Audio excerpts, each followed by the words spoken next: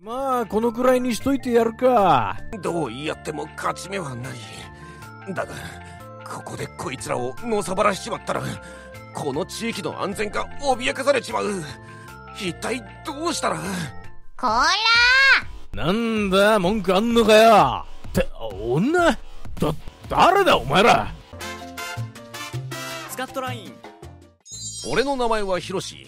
小野組という小さな組でヤクザをしていますうちの組は本家スカト組の末端組織でしのぎはもっぱら露天商での稼ぎ。犯罪には手を染めないのが俺たちのモットー。まあ昔ながらの地元に愛される下町ヤクザってとこですかね。はーい焼きそば1人前350円ね。熱々だから気をつけなよ。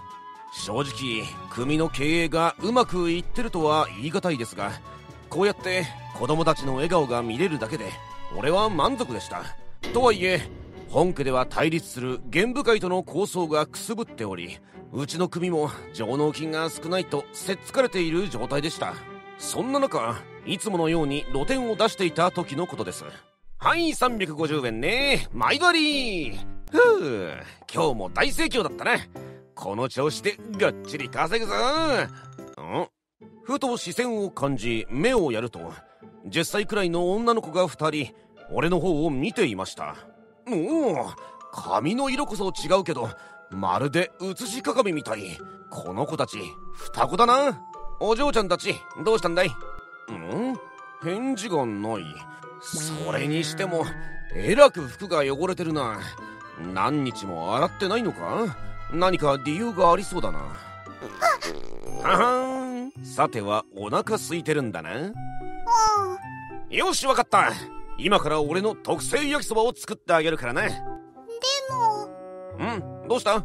私たち10円しか持ってなくて。まあ金はいらねえよ。その10円は大切に取っときな。え？でも。いいからいいから。出来上がるまでそこのベンチで待ってなって。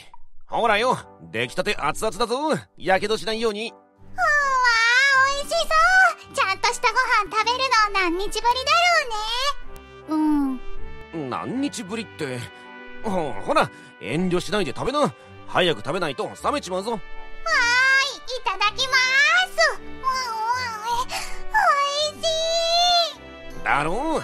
おかわり自由だ。何杯でも食っていいぞ。やったー。お姉ちゃんも食べなよ。すっごく美味しいよ。うんいただきます。美味しい。美味しいね。お姉ちゃんどうして泣いてるの？どうしてだろう？すごく美味しくってかな。え？美味しいから泣くの？変なの？そうだね。変だね。でも涙が出るくらい美味しいの。そんなに空腹だったのか。こりゃほっとけないな。なあよかったら何があったのか聞かせてくれないか。お姉ちゃん。うん。あのね。話を聞くと2人の両親は3年前に離婚しておりしばらくは母親との3人暮らしだったそうです。母親は娘2人のために必死に働いていたのですが1年ほど前から家に知らない男が入り浸るようになりそこから母親は変わってしまったのだそうです。男の人はいつもイライラしていて私たちを怒鳴りつけてくるんです。それでもママは何も言わないし私たちのことを知らんぷりするんだよ。だから二人で家出してきたの。なんとなく事情は察したよ。家出ってご飯はどうしてたんだい？食べられそうな草とかを食べてた。草って母親は君たちのことを探してるんじゃないか？多分それはないと思います。探してたとしても私たちはあんな家には絶対に帰らない。そうか。でもお嬢ちゃんたちだけじゃどうにもできないだろうそれはどうしたらいいんだろう？現状を知ってしまった以上放っておくわけにはいかないがでも俺は極道者子供の面倒を見るなんて現実的じゃないよな。うんこうなったらお嬢ちゃんたち名前は？さくらです。私はつぐみ。さくらにつぐみだな。よしわかった。ちょっと待っててくれ。なあ沙織今電話大丈夫か？ひろしくんどうしたの？そっちから電話してくるなんて珍しいじゃない。彼女の名前は木下沙織。俺の中学時代の同級生で現在は児童養護施設で働いています。実は沙織に頼みたいことがあって。わかった。すぐ行くから待ってて。おおう。相変わらず物分かりが早いな。3分後。お待たせ。早っ！さくらちゃんとつぐみちゃんだね。あとは私に任せて。おじ心配しないでいいよ。このおばお姉さんは困ってる子供を助けてくれる仕事をしてるんだ。取って食ったりはしないから。ちょっと人聞き悪いこと言わないでよね。てか今おばさんって言おうとした？いいや気のせいじゃないか？後で覚えときなさいよ。子供には優しいんだが俺には厳しいんだよな。なんか言った？ええ何も お姉ちゃんやっと笑った。おおいい笑顔じゃないか。やっぱ子供ってのは笑ってるのが一番だな。もう大丈夫だ。あとはこのお姉さんが助けてくれるから。うん、おじさん、ありがとう。いいか？これだけは覚えといてほしい。弱きを助け強きをくじく。義のためならば命も惜しまない。これが人侠ってもんだ。今度はお前たちが困ってる人を助けるんだぞ。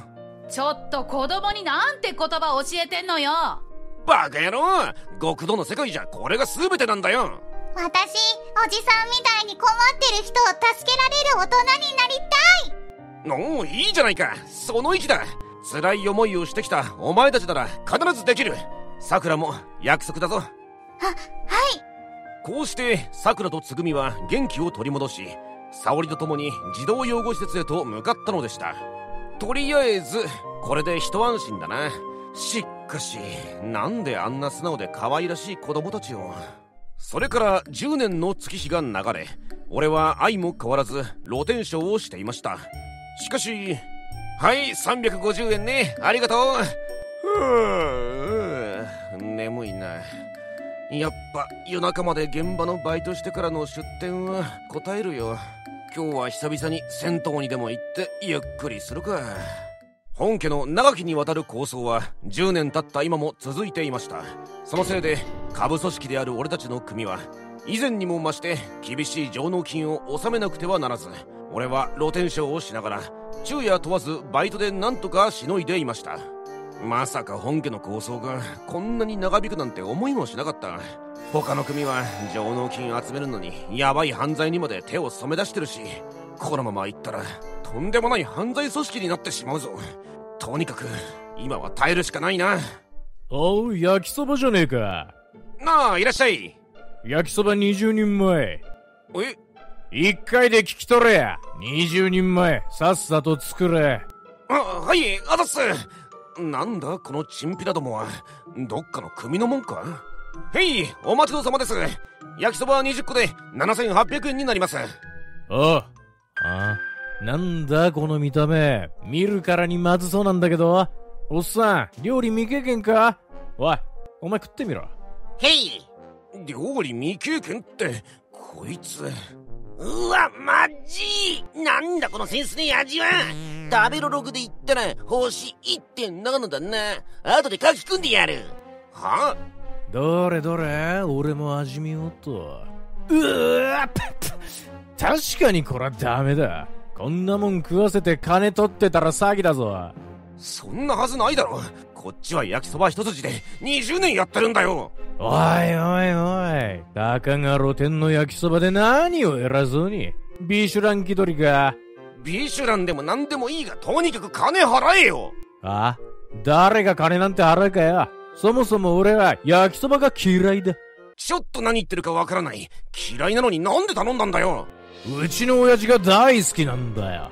なのに味センスゼロの焼きそばを作りやがって。こんなイカサマな露店はこうしてやんや。なってめえ何しやがんだそもそも誰の許可取って、ここで店出してんだ？ここは俺たち貸し会の島だぞ。何？貸し機会って確か敵対してる組の下部組織？ふざけんな！ここは俺たち小野組が仕切ってる島だ！小野組？ああ、あの今にも崩れ去りそうな、オンボロ事務所の末端組織か？てめえ言わせておけばそういうお前は誰なんだよよくぞ聞いてくれたな。俺は玄武会直系貸し会射程頭。暴れんナークル暴れん坊の暴走列車とは俺様のことだ。以後お見知りおきを。暴れん坊の暴走列車ってクソダサいけど。まあそんなことはどうでもいい。それよりも玄武会はまさにうちの本家が構想を繰り広げている敵の組。そこの下部組織がついに動き出したってのか？悪いが俺はお前らと争う気はないよ。うちの組はそういうのやってないんだ。悪いな。残念だがそうはいかねんだわ。な？どういうことだ？うちの本家玄武会からスカト組の末端組織を片っ端から潰せと指示が出てるもんでな。なんだと？まあ悪く思うなや。おいやれ。ちょっとやめろって！俺の抵抗も虚しく屋台は見るも無残な姿になってしまいました。もちろん俺もボコボコに。まあこのくらいにしといてやるか。とりあえずここは今日から貸し会の島だ。おとなしくここで認めりゃお前の組にまでは押しかけねえ。さあどうする？うちの組はしばらく争い事とは無縁だった。どう言い合っても勝ち目はない。だがここでこいつらをのさばらしちまったらこの地域の安全が脅かされちまう。一体どうしたら？こらあ？なんだ文句あんのかよ！って女？こっちも忘れてもらっちゃ困りますよ。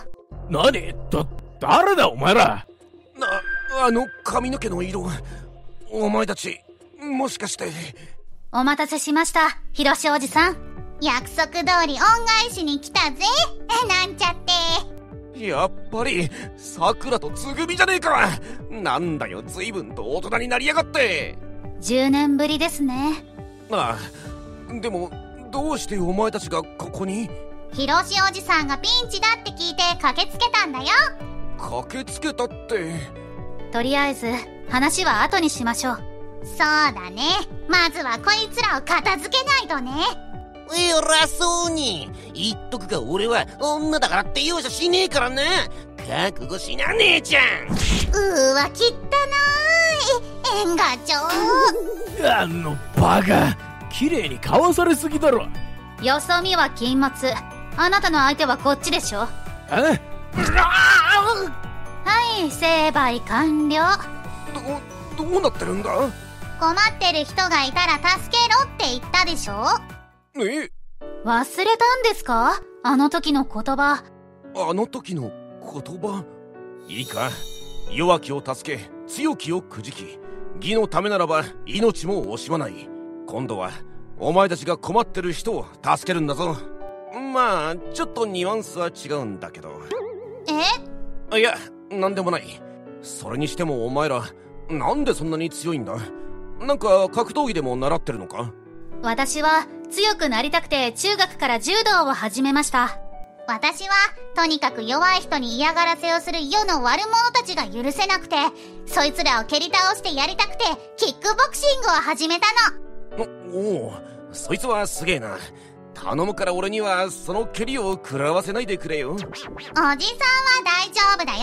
だっておじさんは私たちの命の恩人なんだから。命の恩人か俺が思っていた強さとは少々違ったけど二人は立派に成長したんだな。おじさん、立てますか？えってて悪いな。こんな格好悪い姿見せちまって。大丈夫ですか？なあ心配ない。ちょっとあばらが痛むくらいだ。とりあえず病院に行きましょう。おいおいちょっと待て。よああしぶといわね。お前らよくもやってくれたなヤクザに喧嘩売っといてタダで済むと思ってんのか？あっさり負けといて何言ってんの？いい大人が負け惜しみとかかっこ悪いよ。うるせえ！てめえらが仲良く話し込んでる間に本家に連絡を入れたからな。何直系の組がやられたということは本家も黙ってるわけにはいかない。末端組織も交えた全面戦争勃発だ。やばいなうちの組は俺を入れて4人しかいない。攻め込まれたら勝ち目はないな。ここまでか。心配いりませんよ。え？心配いらない？だって私たち、警察官なんで。え？警察官？私たちは高校卒業とともに警察学校に入学しました。今は警察官として地域の治安を守っています。そそうだったのか立派になったもんだ。笑わせるぜ。たかがおまわりにヤクザの構想を止められるわけねえだろ。そうですね。さすがにヤクザの交戦となれば私たちにはどうにもできない話ですね。そうだろだったらお嬢ちゃんたちおとなしく交番に戻って落とし物が届いてないか見ておいで。あんたなんか勘違いしてない？ああ勘違いだと私たちにはどうにもできないって言っただけで、この構想を止められないなんて一言も言ってないよ。はあ？どどういうことだ？その時でした。遠くからサイレンが鳴り響き数台のパトカーがナクルたちを包囲したのです。そしてパトカーから一人の刑事が降りてきました。ごゴリさん？ゴーリキ刑事、ご苦労様です。おうご苦労さんこのゴリラのような男の名は剛力太通称ゴリさん。ベテランの丸棒刑事として数多くのヤクザの組を解体してきた俺たちの業界で最も恐れられている存在です。おおヒロシ久しぶりだな。真面目にコツコツやってるが。ねええもちろん。うちの組は健全っすよ。そうか。まあ俺の目が行き届いてるうちは悪さをさせねえから間違っても犯罪なんかすんじゃねえぞ。へへい相変わらず強烈な威圧感だぜ。おいお前が貸し会の暴れんか？えなんで俺の名前を？お前のことは全部調べはついてる。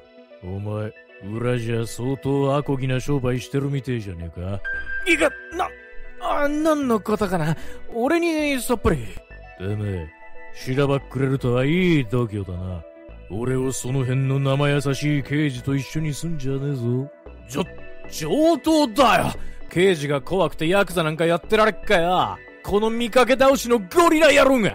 あ、ゴリラって言った。やばいな。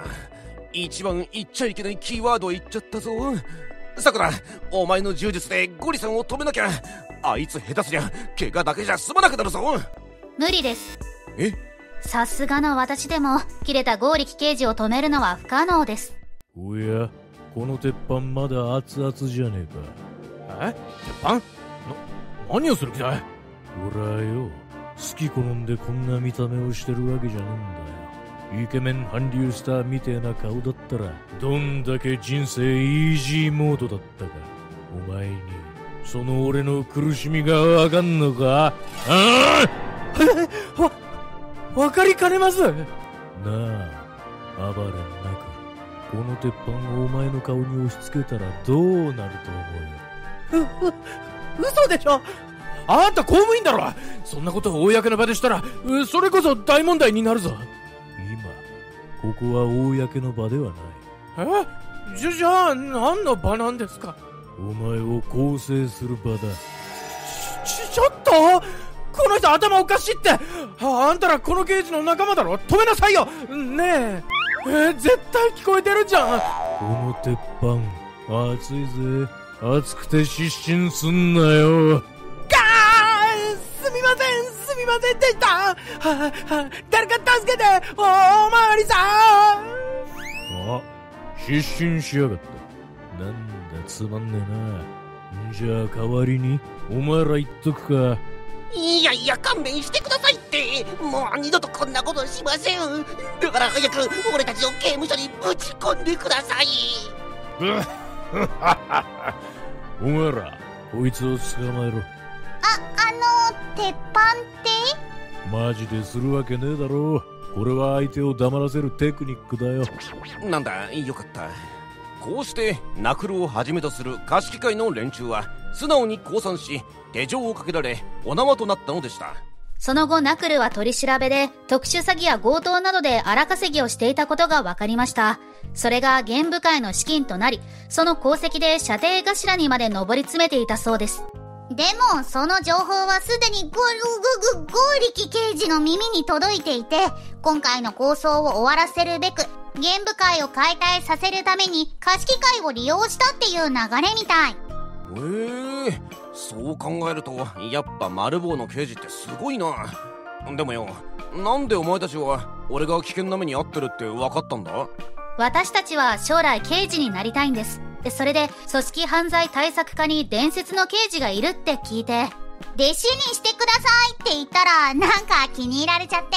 それである日、居酒屋でゴーリググゴーリキ刑事と飲んでたら、ポロッとスカト組とゲーム会の構想の話を聞いちゃったの。そこでスカート組の下部組織である小野組が狙われてるって知って、調べたら、ヒロシおじさんがいる組だって分かったんです。ヒロシおじさんの身に危険が及ぶかもしれないってことで、私たちは独自で暴れナクルの動きを追っていたの。でもお前たちは犯罪が許せなくて警察官になったんだろ？なんでヤクザである俺を助けるんだ？それは、沙織さんから聞いてたんです。沙織から？何を？おじさんはヤクザだけど、小野組は義理と人情に厚く、チンピラや詐欺師に騙されて困ってる人たちを助けてくれる、正義のヤクザなんだよって。あいつそんなことを。いつもあんなに怒ってばっかりなのに。なあさくらつぐみはい？なに本当にありがとうなお前たちが助けてくれてなかったら今頃小野組は崩壊していたかもしれないあいつらにこの一帯の島を乗っ取られてたら地域の安全も脅かされてただろう本当にありがとうおじさん。へへへへへ。そいつら二人は将来有望な刑事になる。絶対にうちの課に来いよ。ゴリググゴーリキ刑事はい。配属していただけるよう、日々精進してまいります。おいおいマジかよ。二人がゴリさん見たくなるのだけは勘弁してくれよ。こうしてスカト組と玄武会の構想はゴリゴーリ刑事の手によって玄武会の解体という形で幕を引いたのでした。はいよ350円ね。暑いから気をつけなよ。いやー平和だな。上納金も以前の金額に戻ったしおかげで掛け持ちバイトをすることもなくなった。やっぱ俺はこうやって露店で焼きそばを売ってるのがお似合いだぜ。ヒロシおじさのうさくらとつぐみじゃねえか。久しぶりだな。お久しぶりです。焼きそば2つください。オッケー。じゃあそこのベンチに座って待っててくれ。ほらできたぞ。んうわ美味しそう。あの時のまんまだね。うん、そうだね。すごく美味しそう。これ、使えますか？これはもしかしてあの時の10円玉？私たち10円しか持ってなくて。金はいらねえよ。その10円は大切に取っときな。バカ野郎。これじゃ足りないじゃないか。なんてね。ちゃんとお金払うから安心してね。この10円は、私たちとひろしおじさんの絆の証ですから。お前たち。じゃあ食べよっか。うん、いただきます。しかしベンチに座ってる2人の姿を見るとあの時を思い出すな。おじさんどうしたの？あの日俺とお前たちが出会ってなかったらどうなっていたんだろうななんてことを考えてしまってね。あの日出会わなくても、おじさんは必ず私たちを救ってくれてたと思います。そうそうこれが運命ってやつだよ。さくらつぐみ。あと、おじさんにもう一つ伝えたいことがあります。なんだ？私たちが高校生の時に沙織さんが母の住所を特定してくれて私たち様子を見に行ったの。えそうなのか？どうやら母親は男に捨てられパートを掛け持ちしながらその日を生きるのに必死だったとのことです。男もどうやらギャンブルで作った借金のせいで闇金に追い回されてビクビクしながら生きているんだとかこれぞまさしく因果応報ってやつだな。最後までご覧いただきありがとうございました。ぜひチャンネル登録と高評価よろしくお願いします。ぜひ他の動画もチェックしてくださいね。それではまた次の動画でお会いしましょう。